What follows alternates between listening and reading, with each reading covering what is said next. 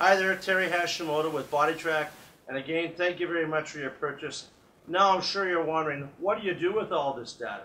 So very luckily for the past two and a half years, what we've been doing is collecting thousands of traces. And we've worked very, very hard, in particular with Jim McLean down at Trump National Doral. And we've collected what we consider to be the seven common traces in golf. We call it the seven traces of BodiTrak. Come on and let's take a look. Okay, so we're going to start with what we call the scattered trace.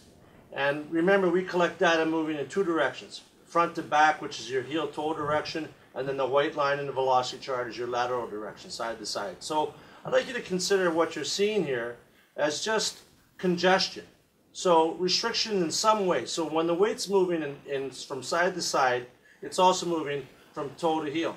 So we're going to grab that scribble bar, and you can see the weight moving all over the place here. We call this a scatter trace. So the, in this particular case, the weight's moving from heel to toe, side to side, up and down, and all around.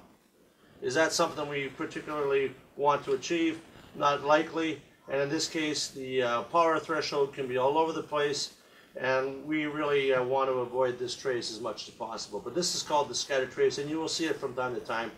And one of the things you can take from this is you can also begin to consider how to use footwear, for example. Do you want to use a pair of shoes that's got strong stabilizing bars and or big arches as to polarize your weight distribution throughout the golfer's swing?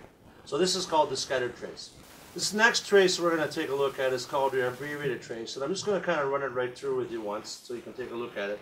And effectively what this is, is that the weight moves very nicely to the trail side and then straight forward directly to the midfoot of the lead foot. This is a, uh, a very good trace in terms of it's a knockdown shot. It can be a short iron. It can be a mid iron. It can also be a very efficient drive if you want to keep it low under the wind. But this is a, an abbreviated trace. Uh, not too much weight gets to the trail side, uh, and it goes directly towards the lead foot. Again, for the uh, short irons, mid irons, and effective for knockdown shots. And under pressure, this can be a very good shot uh, if you need to use it for, say, uh, keeping the ball low under the wind. One of the traces you're going to see a lot of, it's called a, we call this the fish hook, and this is of a junior golfer, and it kind of goes to the heel and then above the towards the toe and all around and it's got a bit of a head to it like a fish hook. And you'll see this quite a bit. This is a fairly efficient trace. It's, uh, it's useful for a driver, for mid iron, long iron, short iron, and it's probably one of the best all-round traces. Uh, but it's not optimal for, say, a long-distance driver. But it is a good trace to, to take a look at, and it's one to note.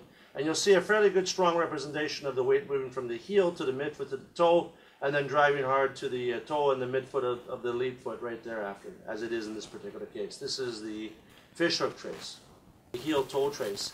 And you're going to see this a lot with a lot of younger, powerful golfers. And the trace basically goes directly to the uh, heel of the trail foot, and then it goes directly to the toe of the lead foot. And I'm going to let just play through here, and you're going to see this.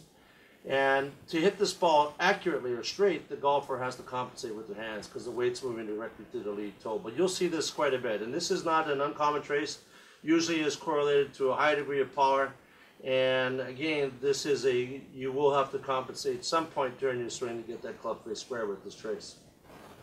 Okay, this is what we call the power trace. And this is beginning to uh, understand the differences in the traces that are required for optimal performance in your driver then that will be required with your iron.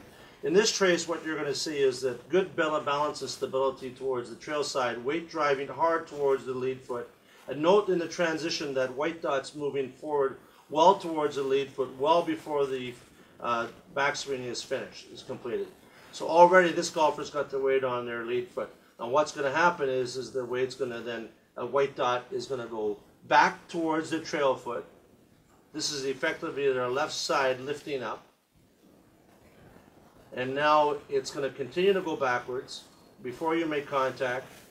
Now the white dot's going to move forward, and by definition, it's for us to be a, consider this a power trace, that white dot must be moving forward towards impact. Again, remember we measure impact uh, zero on the velocity chart. We measure impact by sound. So this is the beginning of the power trace, where the golfer uses their lead foot as a brake, basically effectively straightening out on their left side or their lead foot or their lead side right side if you're a left-handed golfer.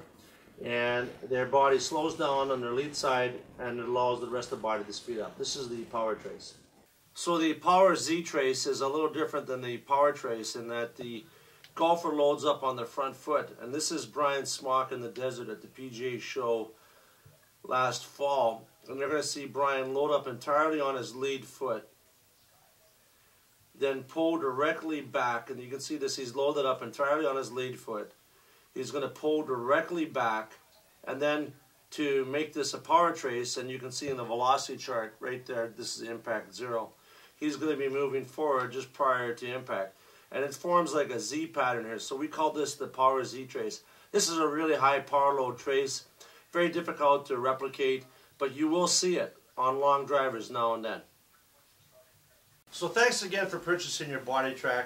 We really appreciate it. And thanks for taking a look at the seven traces of golf. These are the seven most common traces that we're seeing, and this is after two and a half years of studying this just intensely as crazy. We know there's a lot to learn here. We thank Jim McLean, Scott Hamilton, everybody that's been involved from the get-go. It's just been a tremendous opportunity for us to work with you and make golf easier and faster to learn. Terry Hashimoto with BodiTrak. As you can see, we're getting packed ready to go. We'll see you at the show. Thank you.